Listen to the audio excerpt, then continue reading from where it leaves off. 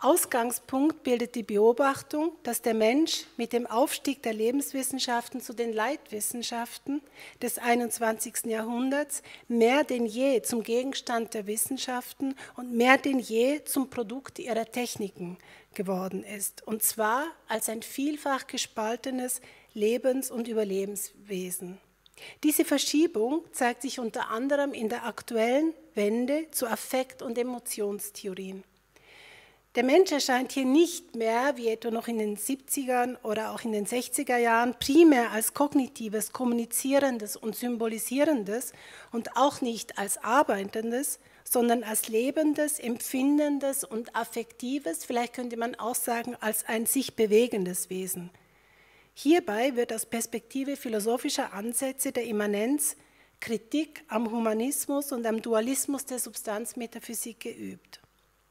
Diese philosophischen Ansätze der Immanenz orientieren sich ihrerseits an Konzepten des Rhythmus, der Bewegung, der Empfindung, der Intensität, der Partizipation, an der Vorstellung einer lebendigen Materialität und vor allen Dingen und zugleich eben auch am Wissen der Physik und der Bio- und der Neurowissenschaften.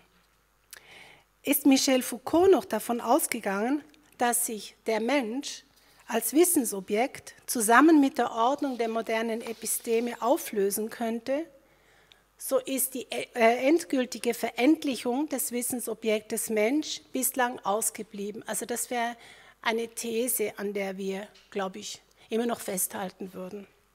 Also dass es noch nicht so weit ist, obwohl ganz viel danach aussieht, dass äh, äh, der Mensch sich äh, sozusagen als Wissensobjekt jetzt aufgelöst hätte in, in dieser ähm, Wende zu den Biowissenschaften hin.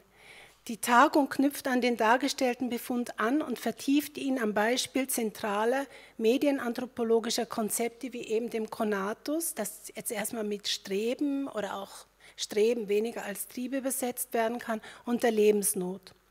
Konatus und Lebensnot beziehen sich auf die Bewegung von Körpern und auf das Streben des Willens. Sie meandern durch die Geschichte der Physik, der Biologie, der Psychologie und der Philosophie. Was macht ihre Aktualität aus für die gegenwärtigen Versuche, Leben bezogen auf menschliches Leben, Medientechnik, Gesellschaft und Environment, Gefühle und Affekte im Zeitalter des Internets der Dinge neu zu bestimmen und aufeinander zu beziehen?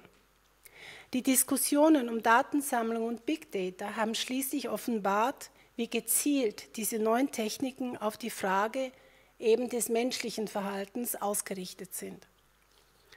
Konatus und Lebensnot zeigen als Schlüsselbegriffe der Medienanthropologie auf, wie die scheinbar gegebenen Lebensbedingungen von Beginn an als Ausdruck der Sozialität, der politischen Gegebenheiten und nicht zuletzt der technischen Bedingungen aufzufassen sind.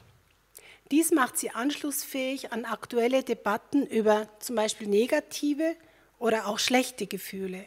So steht etwa Lee Edelman mit seinem Manifest gegen einen Reproductive Futurism quer zum Optimismus und affirmativen Charakter der Politics of Life itself, wie sie etwa Rosi Braidotti erst vor ganz kurzem 2014 als Vertreterin eines New Materialism ausruft. Wie fügt sich einerseits die Verteidigung eines Genießens, das, wie Lacan sagen, gesagt hat, nicht sagen würde, sondern gesagt hat, zu nichts dient und sich der Teleologie ebenso verweigert wie der Zukunftsfähigkeit, in die Konzepte des Konatus und der Lebensnot. Wenn andererseits Konatus und Lebensnot als Schlüsselbegriffe der Medienanthropologie das dem Leben zugehörige Streben als Ausdruck der Sozialität und konzeptuellen Vermitteltheit auffassen, scheinen sie Forschungsrichtungen wie jener der Feeling Bad bzw. Public Feelings Forschung nicht fernzustehen. Diese erhalten mit dem Begriff des Fühlens die Ambiguität zwischen Affekt, Emotion und Gefühl aufrecht, um die Historizität und die sozialen und politischen Dimensionen des jeweils beschriebenen Gefühlsphänomens äh, erfassen zu können.